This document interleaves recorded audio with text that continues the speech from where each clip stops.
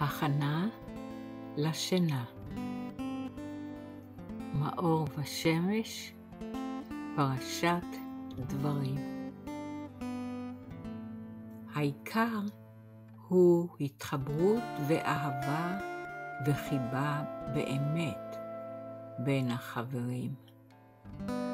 זה גורם כל הישועות והמתקת הדינים שתתאספו ביחד, באהבה ואחווה ורעות, ועל ידי זה מסולקים כל הדינים, ונמתקים ברחמים, ונתגלה בעולם רחמים גמורים וחסדים מגולים על ידי התחברות.